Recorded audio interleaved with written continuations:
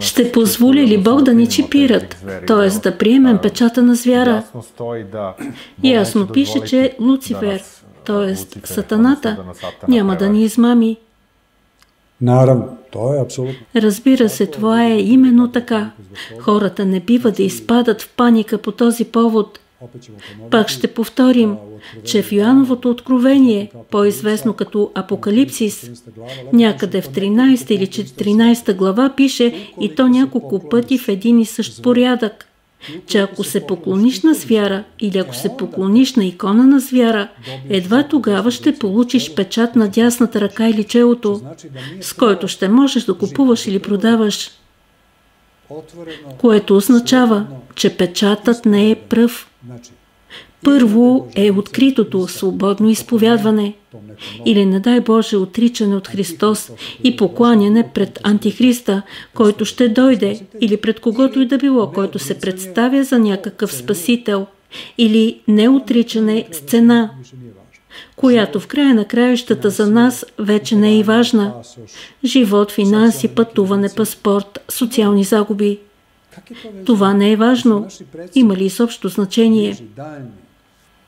Нашите предци, по-близки по-далечни, под натиска на различни империи и ужасни мъчения, не са се отрекли от Христос, казвали са.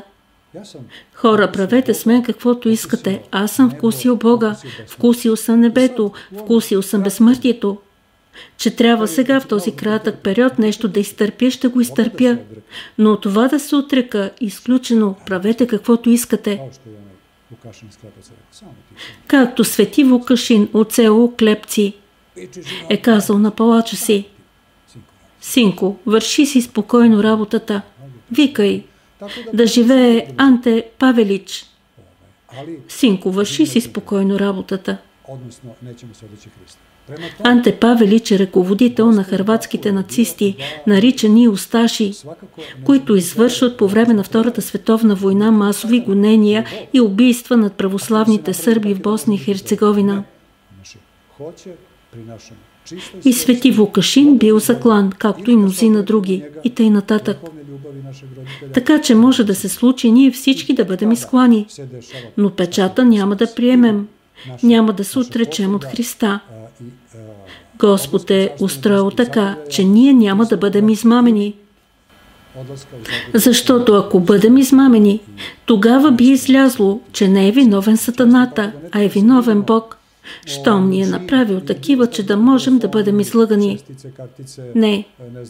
С наше желание, при пълното ни съзнание, със собствената ни воля, или да се отречем от Него, висшата любов на нашите родители, или да не се отричаме.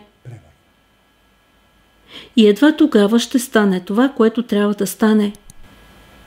Ще потвърдим, или че избираме Царството Небесно и обятията на Христос, или че избираме обятията на този, който ще дойде тук и майсторски ще излъже цялото човечество. Така че не бива да се страхуваме. Телефони, шестици, карти, ваксини – всичко това не е печатът. Печатът ще бъде, когато се отречеш от Христа. Не дай Боже това да се случи на когото и да било. А Бог няма да позволи това да стане с измама –